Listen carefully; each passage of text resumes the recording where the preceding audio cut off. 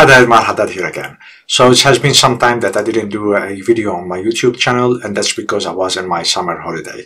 So now I'm back from my holiday so I decided to do the first video and in this video I'm going to show you how you can run EOIP over PPPoE especially for ISPs. I had this question coming from one of my students and he asked me, is it possible that we can run EOIP over PPPoE?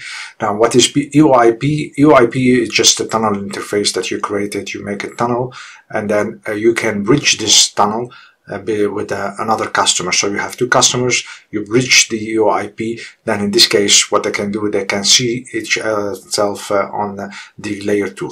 So saying that you have a bank which has a headquarter and a branch office and they want to uh, make uh, uh, the layer 2 connectivity then what you can do you can make EOIP and then in this case you provide layer 2 connectivity to your customer. And this can pass over your cloud of your ISP without any issue. You only need to have some uh, IP connectivity and then you can run EOIP and of course you need to have the MikroTik router because EOIP is proprietary for MikroTik.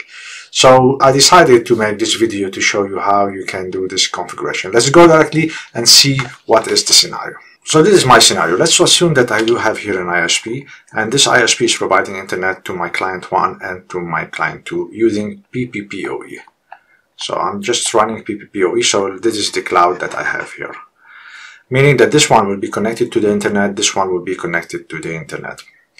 What you can do actually, because those uh, the routers, that's uh, some routers that you are providing to your customers, you have uh, full access to them.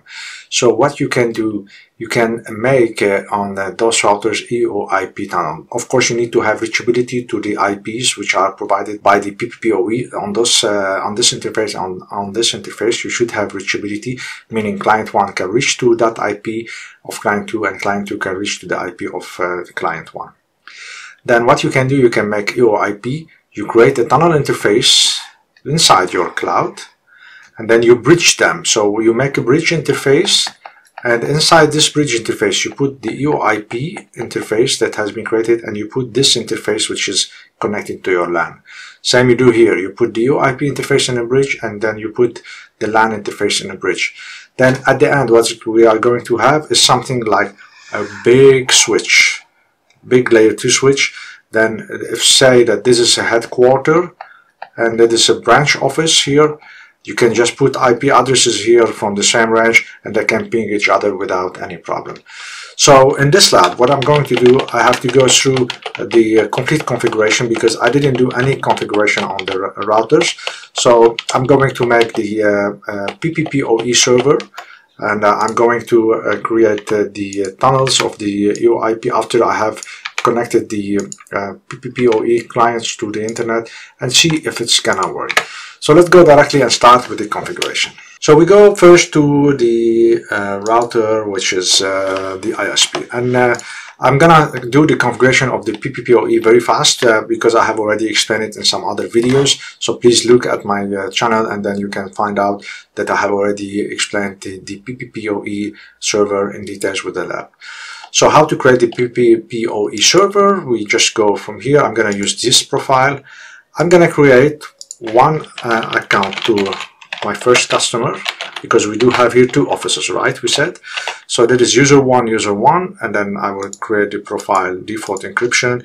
Let's say that I get this IP and he will get this IP. Of course, you can use the pool for the remote, but now it's just a lab, so I don't need to make a pool.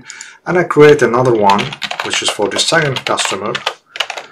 And uh, we make a PPPoE. That is the local address that I get on my tunnel interface, and it is that he got on his tunnel interface on the PPPoE. Then I will create uh, the PPPoE server. Now if you look to the picture, I'm going to make it, uh, uh, because as you see, we have uh, client 2 uh, and client 1 that are connected to two different interfaces. Actually, normally it's not like that. Normally it's just you have some switching here and then all your customers are connected to that switch or many switches. But this is the scenario I do have now. So I'm going to bridge those two interfaces and run PPPoE on this bridge interface. So Ethernet 1 and Ethernet 2, I will bridge them. So let's do that. I will go to the bridge and I will make a bridge interface and I'll put inside of it Ethernet 1 and Ethernet 2. Now I will run the PPP OE, OE server on the bridge interface. So I will run here uh, on the bridge interface and I will use the default profile and then that's it. Now we have to be sure that we have a uh, masquerade here, rule, NAT rule masquerade to allow, this is my WAN connection on Ethernet 5. So, so far so good, so this is ISP1 is done. Let's connect now the client 1 and client 2 to the PPPoE uh, server. So this is client 1, you can see the name over here. Please look to the picture to follow. I will create a uh, PPPoE client and then um, the PPPoE client on this one is connected to interface Ethernet 2. So we go to interface Ethernet 2. We put it here and then the dial out. I'm going to use user 1. User 1 that I have created. I want to get default route. And then I will say here, okay. You see directly it's connected. Now to be sure, let's make a ping to 8.8.8.8 to see if we have internet. So this router has internet. Very good. We go to client 2. So this is now the name client 2, same as we have done on client 1. So I will go to the PPP OE client. Client 2, if we look, it's connected to in the interface Ethernet 1 to the ISP. So I will leave it. And then now user 2, user 2, and then let me say here okay and it is connected now if we try to ping to 8.8.8.8 we can see it's connected to the internet. And if we look to the IP address you can see he got this is dot 3 the other one got dot 2 and the ISP should have uh, already dot 1 so if we look to the ISP there is the ISP router.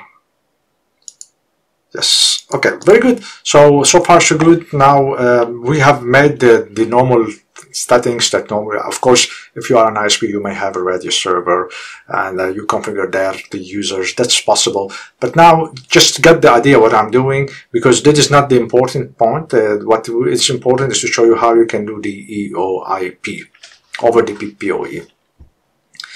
Very good. So now it's uh, done from uh, that side. Now uh, before I continue doing the EOIP on client 1 and client 2, uh, let me just show you that I have put on the LAN 1 router, on the LAN 1 router, I have put this IP address 172.16.0.1 on the interface Ethernet 1 on the LAN router, and uh, I put the same range on LAN 2.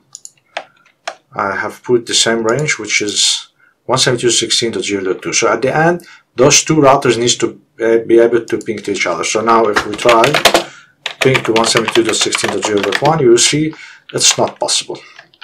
So after we do the EOIP, this should be possible. So let's do now the configuration of the PPP of the EOIP. So how to do it? We have to go to the clients, the clients router. And uh, first of all, on front client 1, I want to, first what is the IP on client 1? which we got it from the PPPoE. It is .2, 10.10.10.2. So we need now to ping to 10.10.10.3 to see if we can reach it. 10.10.10.3. And here we go, we can reach this. Very good. And of course, from the other side, he can reach me. So now what we need to do, we have to go to the interface and then we go to the EOIP tunnel. Again, you need to have two MikroTik routers on the, the client side. So I will put the remote address is 10.10.10.3, the tunnel ID 1. This tunnel ID should be the same on both sides. So this is done from his, this side. Now we go from the second side, which is client uh, 2. Let me just go to client 2. And then uh, I will make EOIP. Let's have a look. Uh, we have to get EOIP. And then 10.10.10.2 so this is the IP we got from the PPPoE and then tunnel ID is 1 so we wait for the EOIP to be formed so now the EOIP is being formed so we have the tunnel up and running very good now what I need to do is just to make the bridging So I will go to the uh, client one again. So I will bridge this EOIP interface with what? With the on the client one with the interface which is Ethernet one, which is connected to LAN one. So I will go to the bridge. I'll make a bridge interface. And in this interface, I will bridge the interface uh, Ethernet 1 and the interface EOIP. As simple as that. So this is done from the client 1. We go to client 2. Client 2, we have to bridge the uh, EOIP and the interface Ethernet 2 which is connected to the LAN 2. So we create a bridge and we have to bridge uh, Ethernet 2 and EOIP which is connected via the tunnel. Excellent, very good. So now what we have uh, done at the end, of course we need to just justify if our work is correct now. So we have made uh, the bridging between from this side and uh, from the EOIP tunnel that we got and also EOIP tunnel here and uh, this interface over here. So at the end we should have something like uh, like you have to consider like a virtual big switch meaning that those two devices which are for the two customers like two routers that we have here they will be able to see each other on the layer 2 let's justify that. So let's go to the um, we uh, try to ping I think from LAN to um, let's see let's, yes we try to ping to uh, LAN 1 router. Now if we do the ping here we go you see I'm able now to ping to 172.16.0.1 which is on the LAN uh, 1 router. And if we go to the IP neighbor IP neighbors so you can see he can see it on his neighbor LAN 1 router. He can see it on layer 2 excellent. So amazing yeah? So it's uh, it's straightforward and he can see the MAC address and and yeah this is how you can do the configuration using um, uh, PPPoE and uh, EOIP so running EOIP over PPPoE especially for your customers in your ISP if you want to connect them together uh, via the uh, uh, the layer 2 then yeah you can do that now someone can say but yeah, I do have many routers inside my core network and not on, only one router. And I'm using also private IP addresses. Uh, so um, when I distribute the, the private IP addresses to my customer on the PPPoE, they can't see each other on the IP address. So what can I do? Then over here you have to run some um, routing protocol inside your network where uh, you can reach all your IP addresses from any device inside your network, but also from the network of your customers. Uh, as for the uh, edge router, so the router that you are putting it for for them, so you can uh, reach to that. And then the most important thing for EOIP is that you need to have reachability between the IPs. So that is all what I wanted to show you in this lecture. I hope it was informative for you, and I'll see you in the upcoming lecture.